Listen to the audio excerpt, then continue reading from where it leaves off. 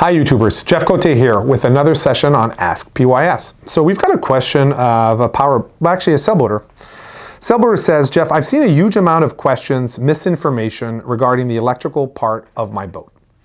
They confuse the neutral with the negative and with the grounding. It would be great if you could explain who's who and when and cannot and when they cannot be linked together. All right, if you're not confused about grounds, um, then you're probably not reading or listening because grounds are honestly one of the most confusing part about marine electrical systems. It took me a long time to figure it out. So grounds are multiple things. There's a lot of grounds on our boat. So let's start naming them. There's AC grounds, DC grounds, RF grounds, lightning grounds, bonding grounds. All those grounds are basically common, meaning they're connected to one another. And that's very important. You cannot have different grounds that are floating. Okay, so they need to be common, and that's where the, you, the term common ground comes from. So all these grounds have to be connected together to be at the same potential, i.e. common. And so you're going to have an AC ground on your boat, the DC ground, which is pretty common on most of us, right? A lot of our boats have AC and DC, and it's very essential when we do surveys, these electrical audits on boats, we're always looking, making sure there's a a ground tie between the DC ground and the AC ground of the boat.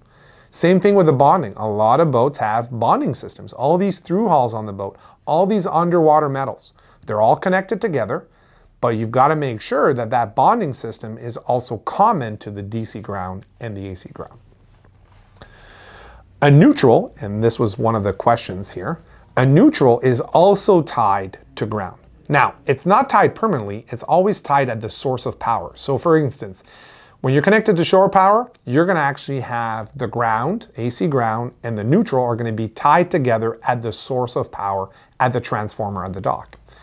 If you don't, if you have a generator, again, same thing. The neutral and the AC ground are tied together at the source of power because the AC grounding or the green wire needs to go back to the source. And if you have an inverter, your inverter, and it's a marine inverter, is actually going to do a ground tie between the AC neutral and the AC ground whenever your inverter is working. So that's the concept on AC grounds and AC neutrals. When you look at these marine diagrams, and we've got all these conceptual diagrams on our website, they have an ideal boat. Certainly the American Boat Yacht Council, ABYC, has this sort of perfect boat. This boat that I've yet to see or will ever see where all these grounds are going on this one common ground bar.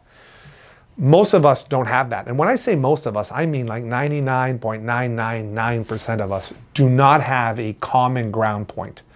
What generally happens is the DC ground on our boat is the common and everything gets connected back to that. And so a lot of boat builders will use the DC, they'll ground that, and they'll have all the other grounds connected back to this DC distribution. So that's why it's confusing is because the theory is never really applied in reality the way that we would see it in the standards or in the schematics. And that's what's so hard for all of us is we're trying to map what we're told should happen and what actually happens on a boat. And we've got videos on grounds. By the way, that I could do a video on grounds that could last two hours. I'd bore most of you, but it is very interesting because it's so freaking complicated. Thank you for watching this PYS video. If you've got further questions, ask them down below or go on our website to fill one of the forms. Also, support to keep this YouTube channel ad-free by donating on PayPal or purchasing some merchandise on our store. Don't forget to subscribe, and thanks for watching.